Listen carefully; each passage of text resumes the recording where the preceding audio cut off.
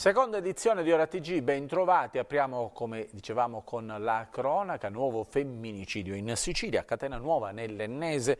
Un uomo ha ucciso la eh, già moglie a colpi di pistola, poi si è consegnato ai carabinieri. Su Facebook aveva scritto la vendetta va consumata fredda. Vediamo insieme il servizio ha raggiunto l'ex moglie in campagna alla periferia di Catena Nuova, nell'Ennese, e l'ha uccisa a colpi di pistola prima di costituirsi alla caserma dei carabinieri. Nuovo femminicidio in Sicilia, il diciassettesimo in Italia, rende noto telefono rosa nazionale dall'inizio dell'anno. L'omicida è lui, Filippo Marraro, 51 anni, titolare di un autolavaggio. La vittima, Loredana Calì, 40 anni. L'uxoricidio è avvenuto qui, davanti alla casa dei genitori di lei, dove la coppia viveva, sebbene stesse per separarsi. Poco prima che Loredana andasse a lavorare, l'ex marito si è presentato davanti a lei per parlare della separazione, dicendole che le avrebbe dato un passaggio sino allo studio dove collaborava, ma prima di salire in auto l'uomo avrebbe estratto l'arma e fatto fuoco, due colpi di pistola diretti al petto. Loredana è morta sul colpo. Poco dopo Marraro si è presentato in caserma e si è costituito: Ho ucciso la mia donna, aveva altri uomini, avrebbe detto ai militari.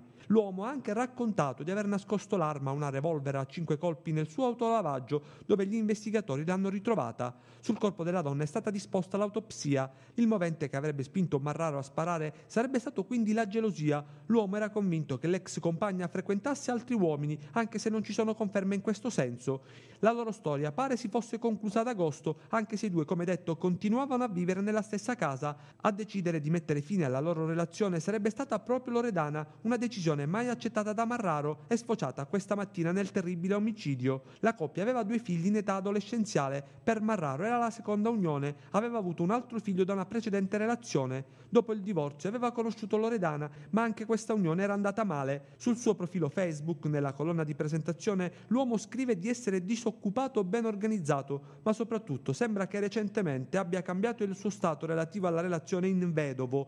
Pare che in passato Marraro si fosse già reso responsabile di atti di violenza nei confronti della donna, che però non l'aveva mai denunciato. La vendetta è un piatto freddo, più è freddo e più si gusta, aveva scritto sul suo profilo social una frase che fa pensare a un femminicidio premeditato, così come poi confermato dalle modalità. Marraro infatti aveva detto alla ex che voleva parlare con lei della separazione dell'affido dei figli, ma addosso aveva una pistola nascosta. In manette una nota famiglia di commercianti a Messina, nove arresti tra cui corrieri bloccati agli imbarcaderi. Utilizzavano auto noleggiate, parliamo di droga proveniente dall'Albania. Padre e figli impegnati nel traffico e spaccio di marijuana, con la copertura di una tranquilla attività lecita, una rosticceria all'angolo dello Sfizio, nella zona della stazione centrale di Messina. Gli investigatori della Guardia di Finanza, coordinati dalla Procura, hanno seguito per mesi le mosse della famiglia Mangano e questa notte è scattato un blitz che ha portato in carcere nove persone. A finanziare il gruppo Antonino Mangano con i figli Francesco e Mario Alessandro, un dipendente della rosticceria Giovanni Ragusa, era invece un attivissimo corriere. La droga proveniva dall'Albania e attraversava lo stivale fino al quartiere di Contesse dove vivono i Mangano. I due corrieri arrestati, Mario Berlingeri di 44 anni e Giuseppe Aguidi, 39, entrambi calabresi, sono stati trovati con 55 kg di hashish ciascuno. A Reggio Emilia sono stati arrestati due albanesi di 37 e 45 anni.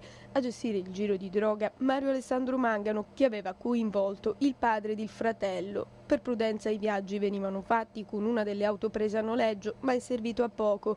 Le intercettazioni hanno svelato movimenti e passaggi di droga, i militari hanno fatto scattare sequestri di sostanze stupefacenti anche agli imbarcaderi.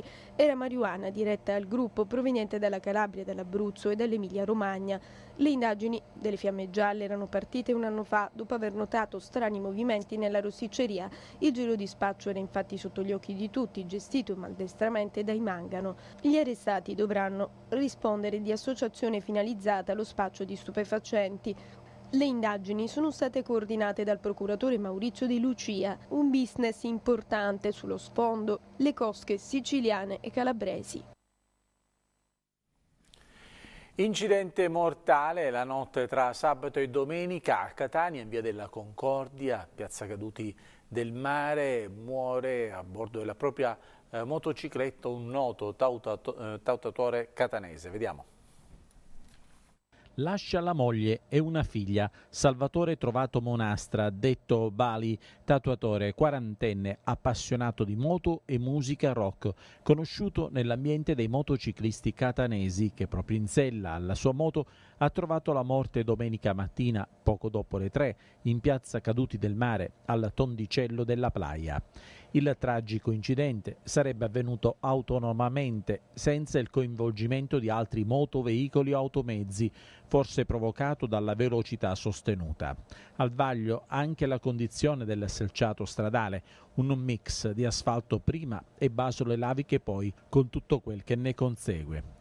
In verità si tratta solo di ipotesi all'esame della Polizia Urbana di Catania che sta verificando ogni altra possibile concausa. Infatti, sebbene l'incidente attualmente è catalogato come del tutto autonomo, qualcuno ipotizza che da una delle traverse potrebbe essere uscito un veicolo che, a propria volta, avrebbe influito sulla marcia del Centauro, che per proprio conto proveniva da via della Concordia.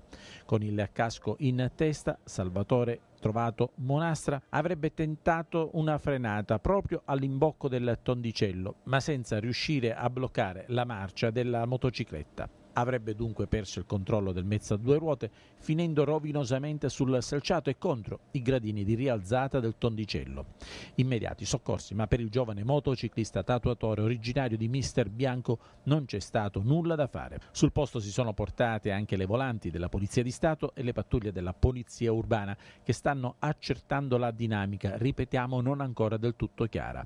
Circa tre settimane fa un altro incidente stradale, poco più avanti, aveva causato il ferimento di un anziano del posto. Una decina di giorni fa, inoltre, un autobus, forse per delle autovetture parcheggiate all'estremità del tondicello, con una ruota a divelto parte della rialzata della piazzola, i cui effetti sono ancora evidenti. Qui i residenti da anni chiedono perlomeno dei dossi al fine di evitare lo scorazzare, soprattutto in ore notturne, di autoveicoli e motoveicoli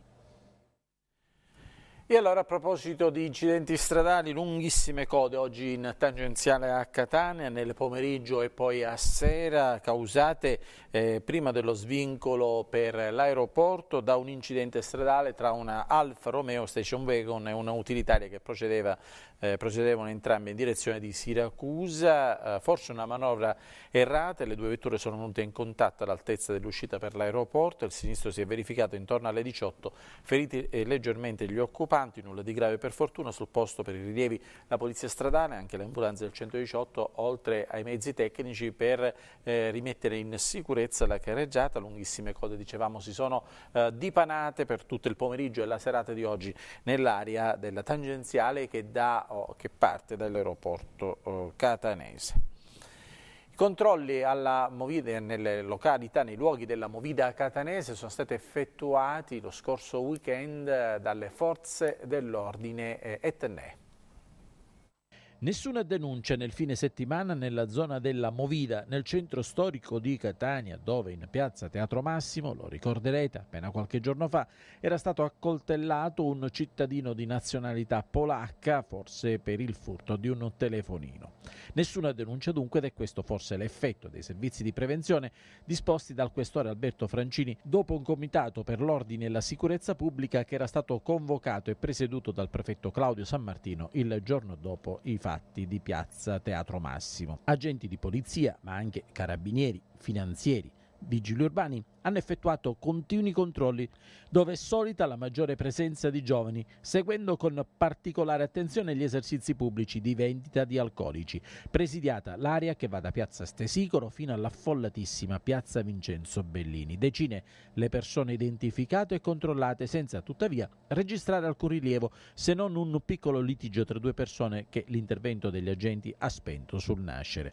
Numerose le infrazioni invece rilevate dalla polizia municipale, circa divieto divieto di sosta o in ottemperanze al rigido codice della strada. La presenza ha permesso un regolare svolgimento del caffè concerto promosso dal comune in piazza Vincenzo Bellini. I servizi continueranno nei prossimi fine settimana al fine di scongiurare fatti delittuosi che evidentemente potrebbero turbare la movida catanese, trasformandola da momento di gioia in criticità da ordine pubblico. Due imprenditori sono indagati per bancarotta fraudolenta, sono accusati di aver fatto fallire una società con 5 milioni di euro di debiti, l'operazione della Guardia di Finanza di Catania e della Tenenza di Aciriale che ha sequestrato un complesso immobiliare del valore di 2,7 milioni di euro. Le indagini sono state coordinate dalla Procura etnea, secondo oh, quanto ricostruito dai finanzieri, le circostanze del dissesto finanziario e patrimoniale di una ditta, la Leotta SRL, sarebbero al centro dell'operazione. L'azienda era stata dichiarata fallita nel 2013 dal Tribunale di Catania che aveva maturato nei confronti dell'erario dei propri fornitori 5 milioni di euro di debiti eh, insoluti. Adesso per due imprenditori, di cui però non si conosce ancora il nome, eh, la uh, Guardia di Finanza contesta la grave condotta distrattiva, secondo appunto quanto scrivono i finanzieri, eh, che per un attivo patrimoniale di 2,7 milioni di euro che avrebbero dovuto essere impiegati invece per soddisfare i creditori e l'erario, questa è l'operazione della Guardia di Finanza di Acireale. Rimaniamo nella zona Cese, ma cambiamo decisamente argomento, torniamo a parlare del terremoto di eh, Santo Stefano, rimane ancora chiusa via Floridi a Santa Maria la Stella, residenti e commercianti esasperati hanno organizzato una protesta per avere date per risanamento e riapertura della strada.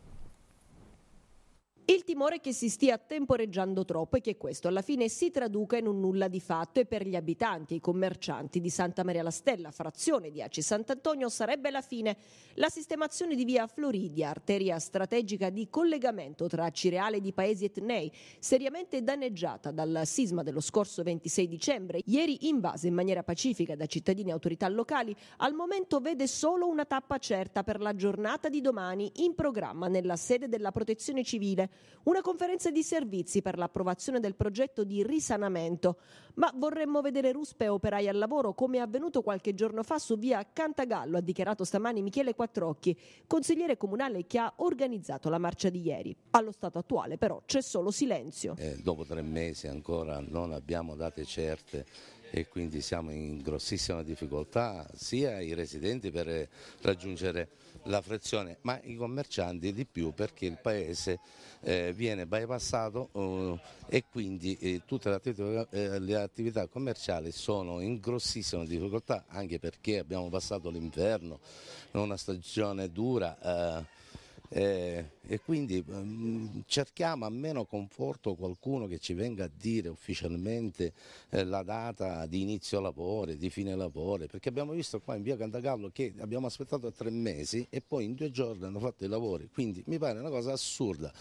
Vogliamo delle risposte certe così magari ci incoraggiamo. Ho sentito che eh, martedì ci sarà una conferenza eh, dei servizi per stabilire e approvare il progetto però lo vogliamo sapere eh, così, io anche perché nella duplice veste di commerciante e consigliere comunale, giornalmente le persone vengono a chiedere chiarimenti, ma se io non so niente non ho di ufficiale, ho sentito dire, qualcuno stamattina mi diceva addirittura che sanno uh, che già sono stati affidati i lavori, sanno il nome della ditta, fesserie che girano, vogliamo delle certezze. Ora piena l'estate, eh, siamo arrivati eh, uh, con le spalle al muro, vogliamo ripeto, certezze perché allora uno può anche prendere una decisione di chiudere definitivamente perché si stanno spingendo a fare questo. Se questo dovesse avvenire sarebbe la fine per Santa Maria la Stella che in uh, iniziativa spontanea ha anche creato una cartellonistica per agevolare gli avventori. Sì, abbiamo cercato di fare di, di, tutto, ci siamo riuniti i commercianti, abbiamo, uh, no, anche se il sindaco uh, si era prestato a farle con... No, ma però ci volevano più tempo, sembra solo da burocrazia anche nelle piccole cose perché ci vogliono uh, l'impegno di spesa, i preventivi. Ci siamo riuniti noi e abbiamo fatto una segnaletica per cercare di agevolare le persone che devono arrivare a Santa Maria la Stella. Una soluzione che però deve essere solo temporanea. Sì, certo, naturalmente. Io avevo un'altra proposta da fare perché c'è un terreno che può bypassare quel tratto di, di faglia, però a chi lo dico? Non, non, non, ho un corrispondente, ho cercato di eh, chiamare la protezione civile, però non risponde nessuno. Ci hanno abbandonato. A proposito di strade, oggi l'assessore regionale alle infrastrutture Marco Falcone ha visitato i tre cantieri aperti dal CAS, Consorzio per le Autostrade Siciliane, nel Siracusano. L'assessore regionale alle infrastrutture Marco Falcone ha compiuto oggi una ricognizione nei cantieri in capo al Consorzio per le autostrade siciliane in provincia di Siracusa. La Maremonti per Canicattini Bagni, la Bretella Notopachino, poi il cantiere della Siracusa Gela nel primo lotto Rosolini Ispica. Per quel che riguarda la Maremonti, opera rimasta incompiuta per quattro anni dal valore di circa 11 milioni di euro, il CAS ha sbloccato lo scorso autunno le opere. L'infrastruttura è in fase di completamento ed entrerà in esercizio il 4 maggio. Seconda tappa il cantiere della Bratella Noto Pachino dal valore di 15 milioni di euro, anche questo riattivato su impulso del governo Musumeci. Grazie al costante impegno della ditta, il primo tratto direzione Noto Mare sarà consegnato entro il 15 giugno. Uno spazio temporale sufficiente dunque per assicurare l'entrata in esercizio dell'opera prima ancora della vera stagione balneare. Definito anche il cronoprogramma che porterà poi l'intera bretella al completamento entro pochissimi mesi, fermo restando gli impegni assunti dall'amministrazione, perché dal punto di vista economico l'azienda possa essere messa nelle condizioni di operare secondo quanto previsto. La giornata si è chiusa con il sopralluogo dell'assessore Falcone al cantiere della Siracusa Gela nel primo lotto Rosolini Ispica, rallentato dalla crisi di condotte SPA. L'assessore ha preso atto della ripartenza a pieno ritmo dei lavori ed esortato l'impresa cosa edile a fare il possibile perché si rispettino i tempi. Il primo lotto dovrà essere completato entro i prossimi 16 mesi per tentare di recuperare 48 milioni del cofinanziamento dell'Unione Europea che sino all'anno scorso erano stati revocati a causa dei ritardi tardi. Anche a tal proposito, domani Falcone sarà a Bruxelles per incontrare il commissario europeo Corina Cretù e concordare un percorso per mantenere il cofinanziamento a disposizione della Siracusa Gela. Voltiamo pagina Cooking Fest Catania Capitale del gusto per quattro giorni alle ciminiere enogastronomia e tecnologie di cucina. Vediamo. Catania per quattro giorni capitale del gusto con migliaia di chef in città per il Cooking Fest, il salone dell'enogastronomia e delle tecnologie per la cucina organizzato da Expo di Barbara Mirabella in programma sino a domani nel centro fieristico Le Ciminiere. Il taglio del nastro lo scorso sabato presenti tra gli altri il sindaco della città metropolitana Salvo Pogliese e l'assessore regionale alla salute Ruggero Razza, ma anche il presidente nazionale della Federazione Italiana Cuochi Rocco Pozzulo e il presidente dell'Unione regionale Cuochi Siciliani Domenico Privitera. La cucina di altissima qualità in mostra con un ricco programma di convegni e degustazioni all'opera berrette bianche provenienti da tutte le regioni d'Italia e dal mondo, oltre 300 i cooking show, profumi che stuzzicano il palato nel centro espositivo di Viale Africa, che ha anche ospitato il 30 congresso nazionale della Federazione dei Cuochi, il 36 dei Cuochi Siciliani e l'ottava edizione di Cibo Nostrum, festa dedicata alla cucina mediterranea. Spazio anche al vino con Catania Wine Fest, organizzato in collaborazione con l'Associazione Italiana Sommelier, allestito un'apposita area con oltre mille etichette di rossi, bianchi e frizzanti in degustazione. Siamo orgogliosissimi di aver creato quelle ciminiere, una vera capitale del gusto, il Cooking Fest il Salone delle Tecnologie per la Cucina, dell'enogastronomia. Per una volta avviene un miracolo inverso. Le grandi aziende, l'industria della cucina, del contract alberghiero, dell'hotellerie, oggi è presente qui per incontrare i buyer siciliani, per incontrare quell'enorme filiera dell'ospitalità, della ristorazione, eh, che oggi in un momento di, non solo di B2B ma anche di formazione trova alle ciminiere un contenitore speciale. Poi questo è anche un salone eh, per gli amanti, oggi si dice per i food lover, per i wine lover perché abbiamo anche il um, Wine Fest, il Catania Wine Fest, oltre mille etichette siciliane in degustazione, siamo grati ad ICE per questa opportunità e, ehm, e parleremo di tutto, di tanto, di come oggi la cucina si sia evoluta, di come l'ospitalità stia al centro in una terra che credo potrebbe vivere esclusivamente di turismo, quindi siamo orgogliosi, eh, abbiamo appena iniziato ma siamo convinti che sia una grande opportunità per tutto il comparto agroalimentare. Attenzione rivolta anche alla prevenzione e all'ecosostenibilità. Nel pomeriggio di sabato convegno dibattito dal tema La salute a tavola, moderato dai colleghi Alberto Cicero e Maria Torrisi, direttore e caporedattore del giornale online cuochisiciliani.it su sicurezza alimentare e lotta agli sprechi. Un onore per la Sicilia ospitare due congressi di così ampio rilievo e soprattutto ci consentono di riaffermare quello che abbiamo sostenuto fin dall'approvazione del piano regionale della prevenzione.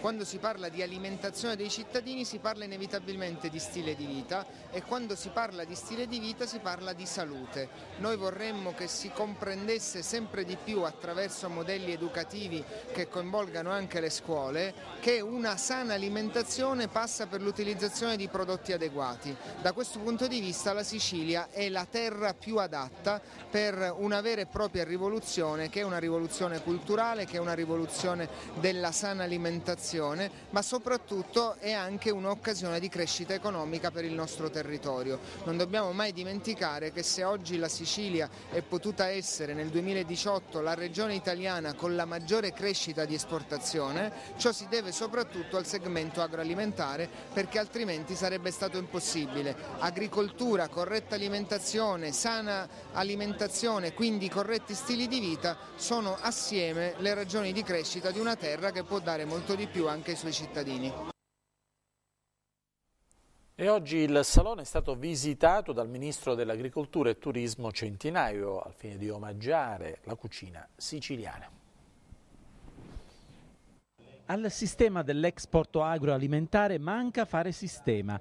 Lo dice il ministro per le politiche agricole, alimentari, forestali del turismo Gianmarco Centinaio oggi a Catania, a margine del trentesimo congresso nazionale della Federazione Italiana Cuochi ospitato a Cooking Fest. Anche i nuovi accordi non bastano, come ad esempio quello delle arance per la Cina. Si tratta, secondo il ministro, solo di un primo mattoncino con un paese che ha delle potenzialità pazzesche sotto il punto di vista del business e che si può dunque sviluppare. La Sicilia è per il ministro una risorsa a tutto tondo che però anche nel recente passato non ha saputo esprimersi al meglio. Non riescono a partire, faremo di tutto anche con la Regione per cercare di lavorare per far partire tutti quei programmi che servono per rilanciare l'economia di questo Paese. Però ci vuole anche un po' di buona volontà da parte di tutti. Io la cosa che continuo a dire è che ognuno parla di se stesso, dei suoi problemi, ma poi alla fine eh, il problema è sempre dello Stato. No? Eh, allora, lo Stato si deve mettere dalla parte dei cittadini e io sono anche qua, anche non solamente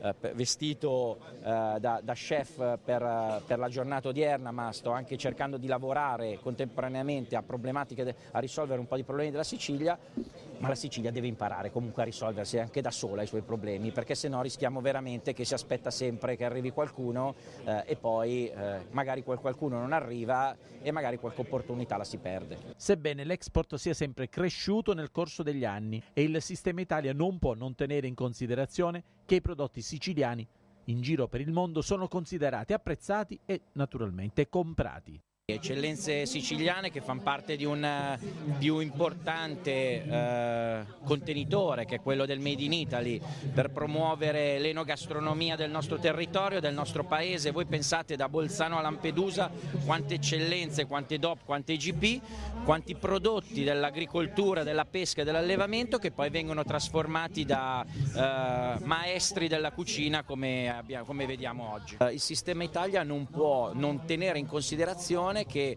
abbiamo eh, i nostri prodotti che in giro per il mondo sono considerati, sono apprezzati, sono comprati eh, e quindi è necessario essere sempre più presenti e far sì che gli stranieri possano acquistare e gustare la nostra cucina. Le arance in Cina non bastano per il semplice motivo che tutti hanno parlato, chi ci voleva prendere in giro soprattutto, ha parlato che l'accordo con la Cina era solamente per le arance. Lo stesso giorno abbiamo firmato anche quello per la carne suina, eh, eh, è stato una, diciamo, un primo mattoncino. Noi stiamo andando in giro per il mondo a promuoverci in modo disorganizzato. Eh, tutti devono promuovere se stesso senza capire che eh, se, ti, se, ci, se ci promuoviamo come una squadra riusciamo a portare a casa maggiori risultati. A me non interessa entrare nel dibattito TAV sì, TAV no. Si decide TAV no, benissimo, decidano TAV no. Però a me interessa avere un piano di governo e un piano del nostro paese che inizi a far partire queste benedette infrastrutture. Io devo trasportare merci e quindi prodotti alimentari e persone, perché io sono anche il ministro del turismo e quindi o costruiamo le infrastrutture o le merci e le persone sarà impossibile portarle. A proposito di turismo, ottime prospettive per la stagione croceristica a Catania che parte ufficialmente domani con l'arrivo di circa 4.000 eh, croceristi, ma da qui alla fine di ottobre ne sono attesi in città al porto di Catania oltre 200.000. Vediamo. Catania al centro del turismo croceristico. Il presidente dell'autorità del sistema portuale della Sicilia orientale ed il primo cittadino catanese hanno illustrato stamattina gli incrementi ai flussi turistici previsti nel 2019 delle navi da crociera in transito nel porto di Catania. Solo nel mese di ottobre sono previsti addirittura 30 approdi che sottolineano una volta di più l'importante valenza nel campo del turismo croceristico del capoluogo etneo. Comune e autorità portuale sono pronte a migliorare la raccoglienza per i turisti che faranno scalo nel porto Attenneo attraverso percorsi pedonali protetti ed il potenziamento dei servizi di informazione turistica, grazie anche a Infopoint sistemati nei luoghi strategici che offrono ai turisti le informazioni utili sulla città e sui siti di maggiore interesse storico. In questi mesi abbiamo registrato questa possibilità perché abbiamo offerto a tutto il mondo in questo anno e mezzo una possibilità diversa. Perché diversa? Perché abbiamo pensato a diverse infrastrutture, abbiamo pensato a un'accoglienza migliorata. I mercati ci hanno creduto, adesso dobbiamo essere noi a mantenere alta questa attenzione ed essere disponibili per tutto quanto è possibile. Il trend è in crescita, triplicare le crociere in due anni non è cosa di poco conto contiamo insieme al Comune con le ulteriori infrastrutture che faremo dal waterfront, dalla, dal sedime portuale, dal mettere insieme le tante attività in un porto che non è enorme.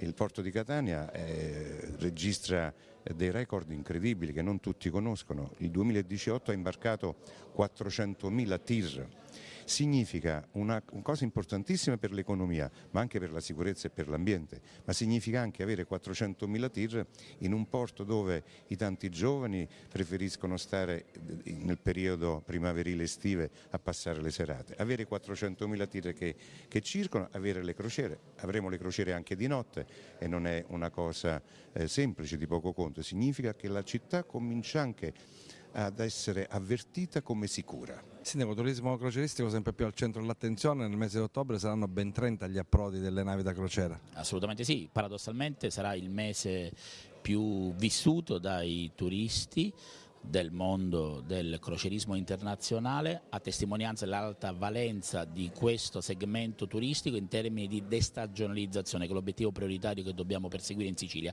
Quest'anno ci sarà un incremento del 65% rispetto al 2018 e del 200% rispetto a tre anni fa.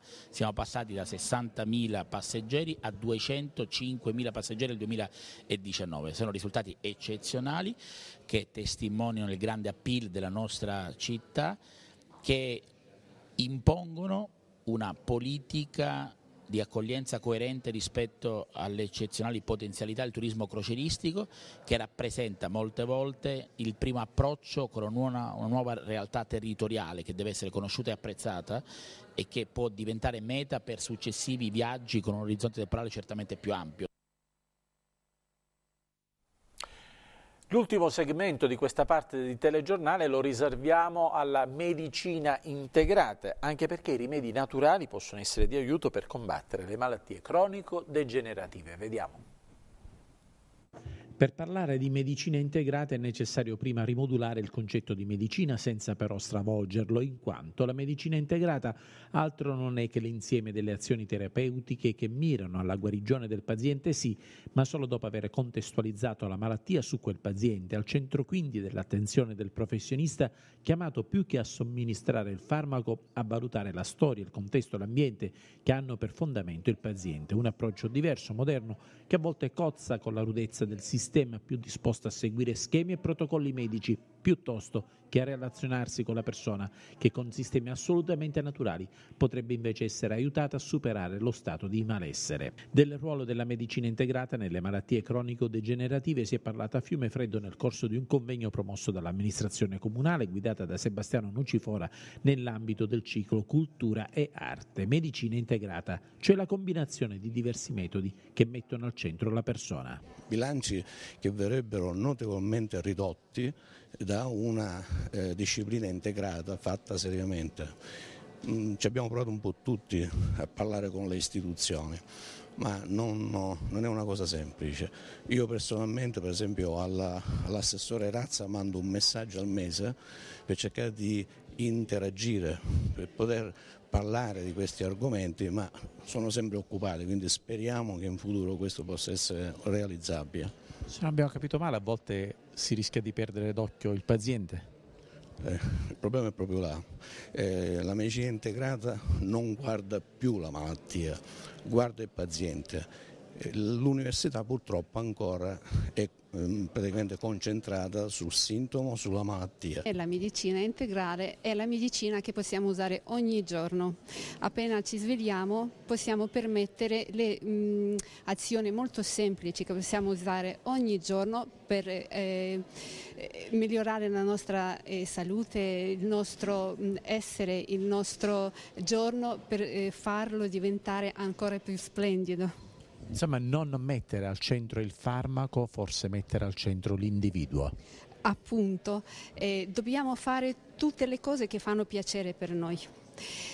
E eh, svegliarsi al mattino e beve, bere anche un bicchiere di acqua pulita che fa bene per il nostro corpo è già prendersi cura con semplicità verso noi stessi. Insomma, volersi bene anche con piccole azioni quotidiane. Integrazione significa l'associazione della medicina cosiddetta allopatica con le medicine altre, che sono praticamente un arricchimento. Nessuna delle due medicine è totalitaria, ma anzi l'una e l'altra dovrebbero essere associate insieme, unite insieme, per essere qualcosa di importante, per ottenere la guarigione dei pazienti. Ho la fortuna di lavorare in un settore della medicina integrata dove conosco tantissimi medici che hanno scelto per arricchire le loro competenze professionali di integrare la medicina tradizionale con altre forme di medicina e sicuramente hanno delle competenze e delle conoscenze estremamente importanti che possono essere utili per guarire, come dicevo poc'anzi, la gente. Purtroppo le malattie croniche dobbiamo dire che la nostra eh, medicina, cioè quelle che ci hanno insegnato all'università anche per esempio in ambito reumatologico, perché io sono anche specialista in reumatologia, non, dato, non, non troviamo delle soluzioni, mentre queste soluzioni possibilmente le troviamo se integriamo la nostra medicina con medicine tipo per esempio la ayurvedica, la medicina tradizionale cinese, ma anche quelle più recenti, quelle per esempio l'omotossicologia anche persino i naturopati hanno praticamente la, ehm, la, possibilità di potersi introdurre e curare, aiutarci a curare determinate cose per esempio. Nessun aggiornamento dalla redazione, dunque ci fermiamo, termina la seconda edizione di Ora TG che avete visto sul canale 89 del Digitale Terrestre in Sicilia Direi TV, che avete seguito sul nostro sito internet o sui canali social di Rai, sia su Facebook dunque che su YouTube. Prossimo appuntamento con Ora TG domani alle ore 14, sempre ovviamente su questi canali. Grazie per essere stati con noi e buon proseguimento di serata a voi tutti.